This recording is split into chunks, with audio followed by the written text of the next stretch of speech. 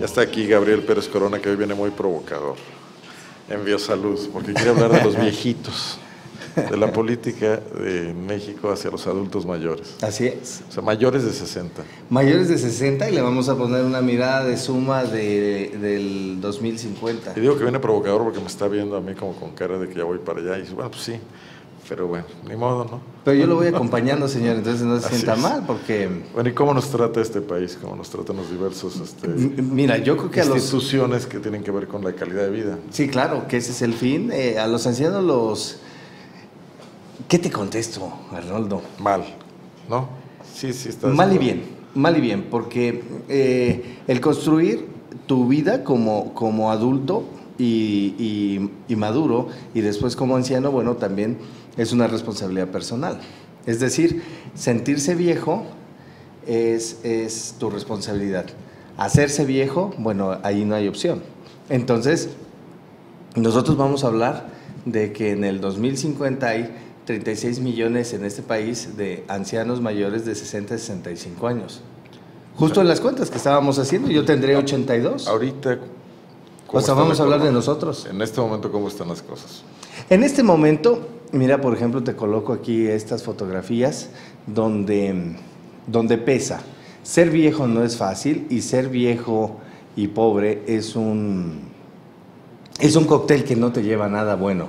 Lleva, lleva yo creo que unos mililitros de amargura y de angostura también. O muchos litros. O muchos litros, porque son 6 millones de hogares que tienen un adulto mayor como jefe de familia, es decir, el dador de, de lo El que proveedor. es, exacto, el dinero, también de lo que es la moral, también del hacer el juicio de la ética y también de llevar el rumbo de esa familia en cuanto a valores. La distancia que existe entre jóvenes y ancianos, más o menos en estos rubros de edad, es amplísima. Se ha hecho una carretera de, de- de cuatro carriles en cuanto a la forma de pensar, de sentir y de conducirse en O sea, la si te sociedad. entiendo un poco, el descenso en la natalidad de los últimos años va a hacer que varíe la proporción. O sea, Así va a es. aumentar el número de adultos mayores en la sociedad y va a disminuir el de adultos jóvenes productivos y el de jóvenes y niños también. Que bien es cierto, eso es lo que se quiere hacer. O sea, eh, haces profundo el descenso de la natalidad y bueno, como tienes una corriente mayor en crecimiento previo, bueno, los adultos se te elevan. Entonces tienes una sociedad... Y un adulto mayor siempre será de Claro. alguna manera dependiente. Por de- supuesto de que sí. alguien o de, o, de, o de una institución pública. Por supuesto, porque mira, por ejemplo, tienes 82% que vive en algún grado de pobreza, ya sea monetaria o alimentaria. Entonces, esto es un ¿Que golpe. vivirá? ¿Estos son cifras a futuro? Sí, sí, esto en es, los es- próximos es- 20 años. Esto es, esto es muy fuerte, porque de Ahí- aquí... Ahí tienes la cifra que te pedía, de 10 a 34 millones. De 10 a 34 millones. O sea, esto, esto es un escándalo hablando económicamente y en productividad. Entonces es una población pasiva. De comportamiento de la economía nacional también. Por supuesto que sí, el Producto Interno Bruto entonces, de manera activa, eh, tienes que, que tomar esto como una inversión a largo plazo. Porque es igual, volvemos al tema, si lo tomas como gasto, no hay profundidad que te alcance. Tenemos que hacer en el desarrollo social, que, que es, es, es una, es la antesala de la salud, bueno, que aquí dos de cada diez adultas, hablando de mujeres mayores de, 60 de 65 años, cuenta con una pensión.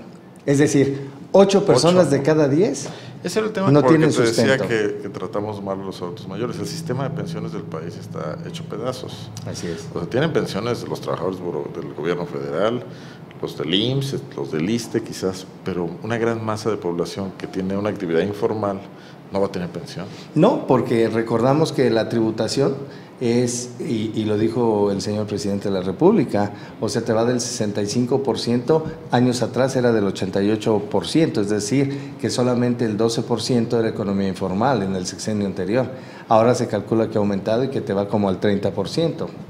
Quiere entonces decir que el 70% aproximadamente es economía informal, que no te graba al Estado y por supuesto que no tienes Que no generan un ahorro. no te genera un ahorro y no le tienes que dar Será un la ahorro privado, pero no. en, en- en la edad adulta y más en, en la circunstancia de invalidez. A ver, e instituciones como el Seguro Popular, como los propios IMSS o ISTE, ¿están preparados para esto?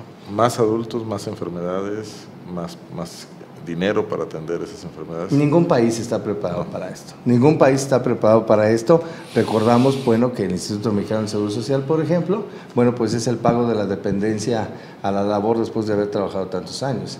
Hay otros modelos, hay otros modelos, por ejemplo, hay, hay un centro nacional donde, donde se paga ahí eh, los dineros pues, después de los ahorros y no necesariamente están ligados a la salud como aquí en, en el país. Me parece que ese es un rumbo por el cual tiene que tomar em, de disgregar el sector salud de, del pago de deuda de los trabajadores. Eso es muy importante, también para que lo puedas apalancar y financiar. Porque entonces esto es, esto es una ala de una prestadora económica de servicios.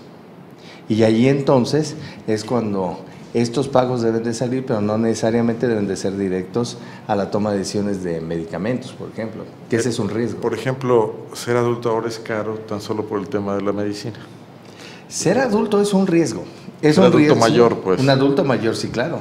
porque mira, dependes de muchos medicamentos diarios cotidianos. Y de todos los factores. Por ejemplo, no es lo mismo ser varón y o ser mujer en el tema de la pobreza, porque la mujer tampoco, eh, el, la tenencia de los trabajos siempre ha sido de los varones.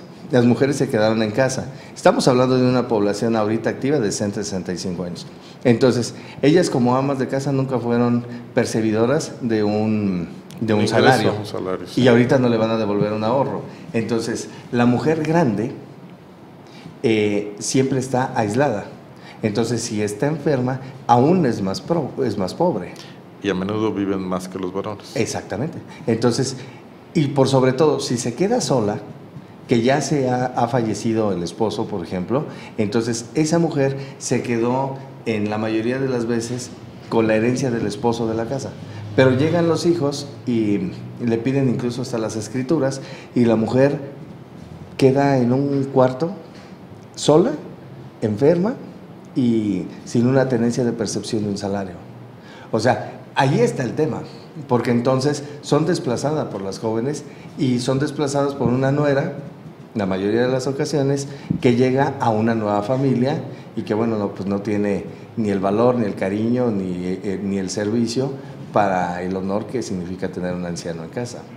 Este es el grave problema de la sociedad mexicana, esa disgregación de la familia que se convirtió ahora en modelos diferentes.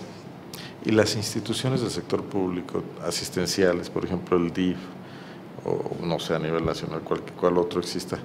había un Instituto Nacional de la Senectus, ¿ya no existe esto? Sí, claro. ¿Todavía? Sí, claro. Entonces, mira, aquí el tema es, por ejemplo... Me imagino que no alcanzan los esfuerzos institucionales. No, no, no, ni jurídicamente, por ejemplo. Aquí hay una vena que es, que es una mina de oro. Recordando que para el Congreso, el que el estudio de política pública es, tú no puedes abandonar a un niño porque tienes una demanda, una demanda jurídica y el Congreso te avala, la Constitución. También puedes, no puedes abandonar a un enfermo porque también de tu familia, porque también te hace una deuda jurídica. Pero no hay algo que te arrime, que te pida, que te solicite o que te haga responsable no abandonar a un adulto, aunque pertenezca a tu círculo familiar primario.